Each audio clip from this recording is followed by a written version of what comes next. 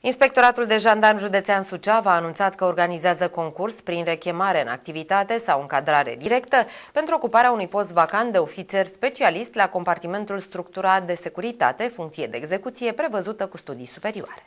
Concursul se adresează absolvenților instituțiilor de învățământ superior, cu specializări în domeniile care vizează informatica, iar principalele atribuții prevăzute în fișa postului menționat sunt referitoare la asigurarea protecției informațiilor clasificate. Transmiterea cererii de înscriere la concurs se face doar în perioada 12-20 septembrie, exclusiv online la adresa de e-mail concursurearondjandarmeriasuceava.ro. Toate informațiile privind cerințele postului postului, condițiile de încadrare, calendarul concursurilor, formularele necesare, inclusiv tematica și bibliografia, pot fi obținute accesând pagina web a instituției.